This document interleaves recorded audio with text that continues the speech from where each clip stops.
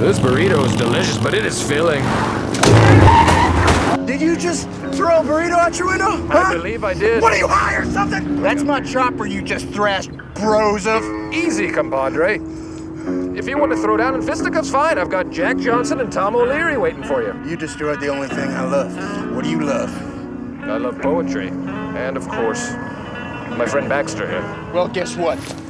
Excuse me. What are you doing?